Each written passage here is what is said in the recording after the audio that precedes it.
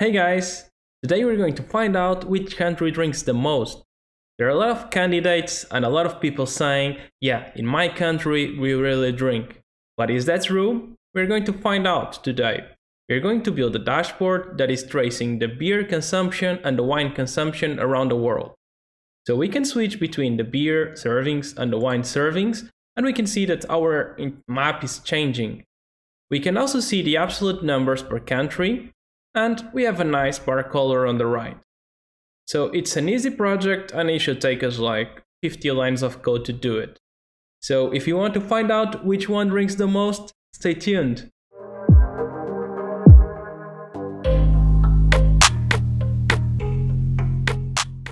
Okay, so let's start by installing the necessary dependencies. So let's start by pip install and we need to install dash we need to install dash core components. We need to take dash HTML components. We also need to install requests, standard library, pandas, and I think that's it. So just run it, it's going to take a while. And in the meanwhile, we can start by creating our file. So let's call it uh, app.py. And let's start by importing like all the necessary dependencies. So import dash, let's import dash core components as DCC. Let's import dash HTML components as HTML. And let's import pandas as PD for now. Yeah, and we also need from dash dot dependencies. Let's import inputs and outputs. And yeah, we have a typo here. And we should be good to go. We also need to import like our graph library.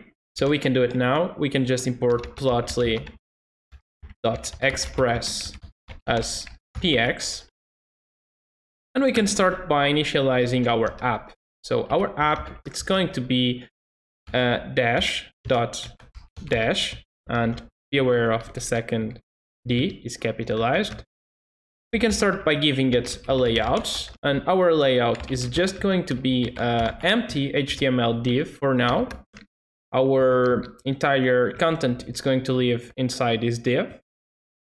And finally, let's just run the server. So our app.run server, we can just set the debug flag equals to true to get some nice error handler. And uh, yeah, that's everything. We can just see if our app is running. So just write Python and then the name of the file. So in my case is app.py. So let's run it. Um, yeah, so I have like this address already in use. So let's try again. And yeah, we can see that we have an empty dashboard. Cool. So the next step is actually to get our data. We're going to use uh, a lot of requests to get our data, and we need two main data sources. So we need to get the ISO codes to convert the country names to the ISO codes, and we need to get uh, the beer and wine uh, data. Okay, so let's start by the beer and wine data. Um, you can get grab the URL from the link uh, below, but I'm just going to copy paste it for now. And our data is living inside of datahub.io. Okay, so it's alcohol consumption, and you can find in the description below. So now that we have that, we can use pandas to actually handle our uh, HTML request, right? Our HTTP request. So we're just going to say that PD, uh, panda PD uh, reads CSV. And if we pass the URL, pandas is going to the location and it's going to grab the file for us. So it's very handy. And if we want to print like our uh, def, just to make sure that we have the right one, we can do it. So let's run again the same file.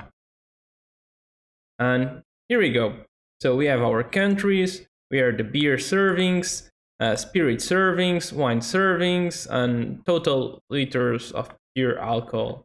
Okay, we just want to focus on the beer servings and the wine servings for now, but you can take whatever columns you wish. So the next step is to get our ISO codes. And for that, we also have to take like a different URL. So let's grab it here. It's going to be available in the link as well. And the ISO URL is the following.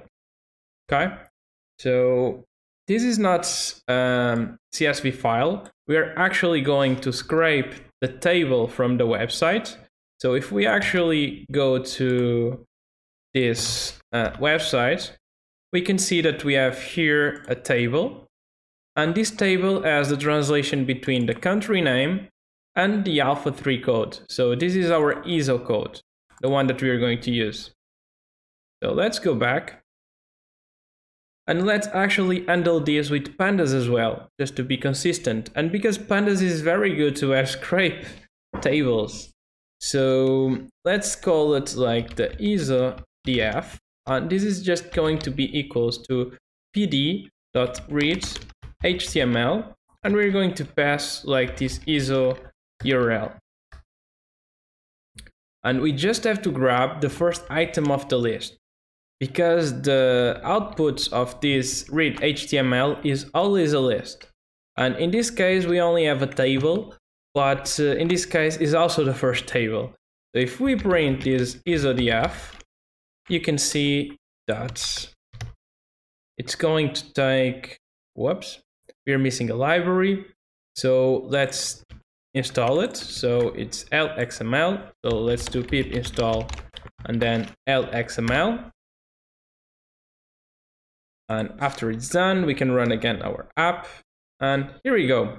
So we have all our countries and the ISO codes. So we are only interested on this Alpha 3 code and we can actually grab it right away. So we can just say that's our ISODF equals ISODF and then our country and we want this column. Okay, so the next step is actually to convert our countries uh, string to lowercase because as you can see, like in our alcohol data, we have the countries with lowercase. And in our ISO data frame, we have them like with uppercase. So it's just a matter of conversion. It's pretty easy to do in pandas. So we can just say that our um, ISO code ISODF uh, country equals to the ISODF country string str and then lower. Okay. And just like that, we have our country names in lowercase, uh, the first letter. And that's pretty cool. So the next step is actually to merge the two DFs. So we can just take our main DF and we can merge it with the ISODF. And now we have to pass two main arguments. So we want to join it with which columns. Um, so we want to merge it with the country on the ISODF and here we have a capitalized C. And on the normal DF, on the alcohol DF, we want to merge with a column called country with a small c, okay? So we have to actually pass this in our uh, merge method. So let's say that our left on and our left is our df we want to pass the column country. Now we're right on. So the, the table on the right is going to be connected with the column country with capitalized C. Okay, and that's about it. So we can just uh, actually save the df. So we have to say that the df is equal to the df.merge, and then, you know, what we just wrote, we can print it out and see the results.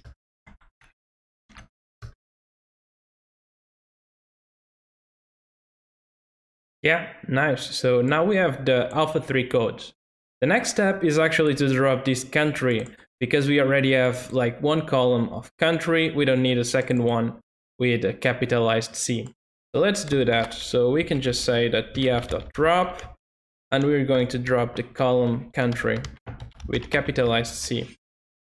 Okay, we just have to pass it as a list and say that axis is equal to one and we pass the in place equals to true.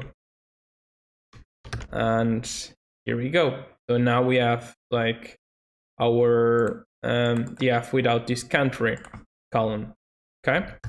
So now that we have that we can start to work in our layout so we can start by actually give it like html that dot h1 and this is going to be our header and it's just going to say welcome to the dashboard After our header, we want to have some radio items. So we want to select between the beer servings and the wine servings.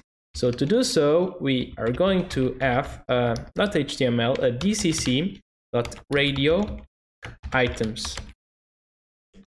And we're going to pass an ID, and this ID is going to be radio items, something like that. And we have to pass the options. So the options uh, are going to contain a list, as always, and inside that list, we are going to have multiple dictionaries. And our first dictionary will hold the label of um, beer or beer consumption, whatever you want to call it, beer consumption, and the value. And here, make sure that you actually take the exact column name, so beer servings. So we can just copy it. Okay, beer servings. And that's about it. So we are going to do the same thing for um, the wine consumption. And we're going to copy the proper column name here as well. Cool. So we can just actually like define the default value. So we can just say value equals, and then we give like beer servings as the default value. And that's about it. The next step is to make our graph. So let's just go out here. Uh, I think, yeah, no, we are good. And we can start to write our graph. So we can pass a dcc.graph item, and this uh, item is going to have like an ID of just graph, or whatever you want to call it. And here we have to pass a fi figure, right? And we have to define a figure. So this figure is going to be our map, map, and our map is still to be defined. Okay, so we can create a function to define our map. We can call it like make map or wherever. And here we can just, uh, we, we want to pass uh, argument and this argument is going to be the column because we are going to change this map when we click in our radio items. Like if we select our beer consumption, we would like to have like a map showing the beer results but if we click on the wine consumption, we would like to have a map showing the wine consumption results. Okay, so let's give it a default value for the beer servings. And uh, let's put beer here. And now we can just start by saying that our figure is equal to px for the Plotly Express. And now we are going to use the choropleth method. Okay, and we're going to pass our df, our data frame, our merge data frame, and inside we are going to pass the locations, and our locations are, are our uh, alpha 3 code. So we can just copy paste it here. And we can move for the color. And the color is our column. So basically Plotly is asking us, okay, so I have the entire data. I know that you want to separate like the data by the locations. And now how can we separate the, the colors? So which values should we use to separate uh, the countries, right? And we want to use like the um, beer servings by default, but we may want to use the wine servings as well, okay? So we're just going to pass column, the argument, not a string, so yeah. Uh, okay, and now that's basically it. You can also pass just to make a fancier um, map uh, over name, okay? And the over name, not over, over, uh, the over name, it's going to be just the country. So every time that you hover um, in your map and you are hovering between like two countries or one country, you're going to have like the correct name there. So after that, we just want to update our layout. So we can just use the update layout method and we are using to change the margin because as far as I know, there's no good way to change the map size without using CSS. And in this tutorial, we are just trying to focus on the Plotly and Dash uh, components. So we're going to use um, like a workaround to make our graph a bit bigger. So we're going to take the margins out. And to do so, we have to define our margin, and our margin has to be passed as a dictionary and it's going to contain the left margin equals to zero, the right margin equals to zero, the top margin zero, and the bottom margin a zero. Okay, this is going to gain a bit of space. And that's about it for our graph. We can just return our figure. Then we can grab our function, go to our figure here, and we can just call it. Okay, and this is enough to actually have something displayed. So if we don't have any typos, we should be able to open our dashboard and see like two buttons, two radio buttons, and a nice graph. Now the thing is, when you click in the wine consumption or the beer consumption, when you switch between the radio items, nothing happens. And this is our next step. So we have to build a logic to actually make this part interactive. It, we're almost there. Now it's just a few more lines of code, but we have to use the callbacks. So we can just say app.callback, and in our callbacks, we have to pass output that we already imported up here from the dependencies. So don't forget to import it. And from the output, um, we have to pass like the ID of our it item, right? The output item. So our output item, it's going to be our graph.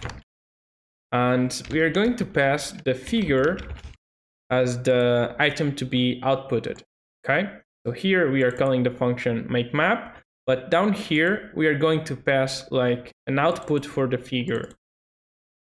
And in our callback, we also have to define our inputs. And our input, it's going to be our radio items. So we can just copy it here and it's going to be the value. So when you click beer consumption, you're going to have the beer servings as an input value. And that's about it. We can just write a simple function to uh, render the graph. We have to pass one argument because that's the way it is. Uh, we have the input from the radio item, so it's only one argument. And now we can just return the make graph or make map function and we can just pass this argument. Because we're going to click on the beer consumption, we are going to get the, the value beer servings. We are going to pass this value here on the render graph that is going to pass the value to the make map. Okay, and in the make map, we have the, the argument column that is going to change our figure here and it's going to show us whatever uh, value we picked on the radio items. So our final graph should be interactive by now. We can just run our app again and see our results. Okay. We can see that we have a small error. And uh, our error is because we should pass like this as a list, probably. Let's try again. Let's refresh this. Yeah, here we go. So we can see that our map is now interactive and we can see that in China the beer servings is 79 but when we click in our wine consumption the entire map changes okay so yeah now it's time to see the final winners right so for the wine consumption it seems that France is the winner but Portugal is also on the top I'm a bit surprised so these are the two biggest wine consumptions or biggest winners on the wine consumption. And on the beer consumption, we have Germany and Poland. Yeah. We also have Namibia that is seems to be actually even higher than Germany and Poland. Okay, so this is our winner. Yeah. So hope you guys liked the tutorial. It was a short one. So see you around.